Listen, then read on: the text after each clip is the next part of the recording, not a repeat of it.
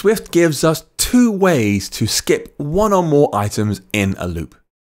We can use continue to skip the remainder of the current iteration, or use break to exit the loop and carry on after the loop.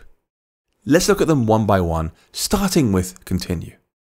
Imagine we have an array of five items.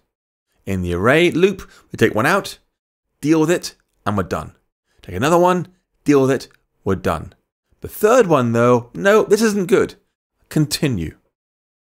And when we call continue here, Swift's going to stop running the whole rest of the current loop iteration. It'll ignore the rest of it.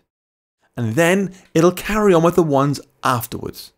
So it'll go ahead and take item 4 and 5 out of our 5 item array. So what we're doing with continue is skipping one item.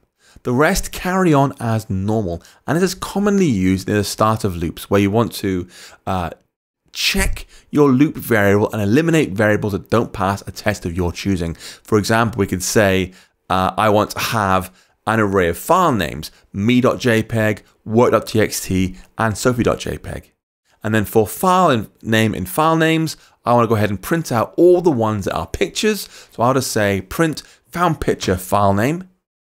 But I know actually, if I don't end with .jpg, it's not a picture that I care about, so I'll just skip that loop iteration. So we can say if file name has suffix .jpg is false, continue. And so it'll do me JPEG, yep, fine, found picture. Work.txt, nope, failed the test. It's going to be a, a, come back as a, a, false there. Continue. And then Sophie uh, pass test and print a found picture.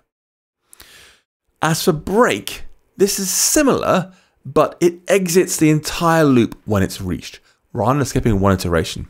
For example, again with our items, first one's fine. Second one, that's fine. The third one, though, we call break on.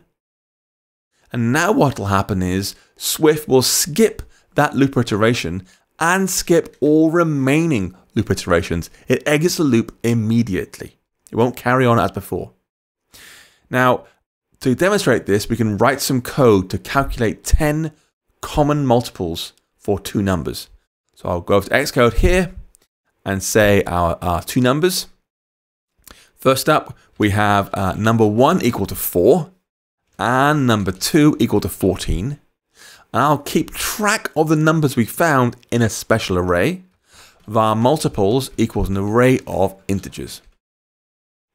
And now what we can do is we can count up from 1 through a very large number. So I'll do for uh, i in 1 through 100,000 and find all numbers that are multiples of number 1 and number 2. So I'll say if i dot is multiple of number 1 and i is multiple of number 2, brilliant. We've found a common multiple for these two numbers. We'll say multiples.append i. Add that to the list of things we found that are good. And now critically, once we've found 10 multiples, we're done.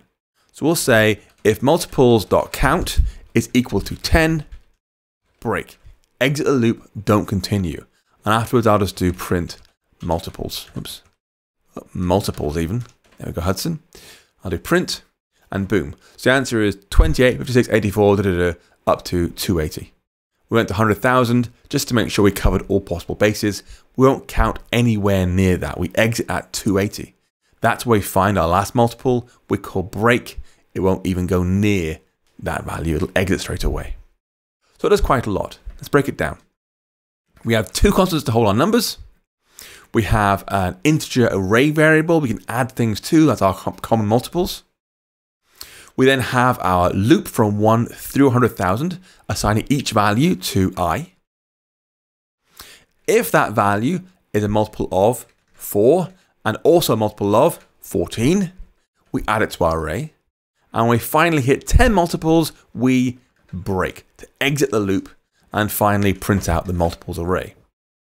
So you want to use continue when you want to skip the rest of the current loop iteration.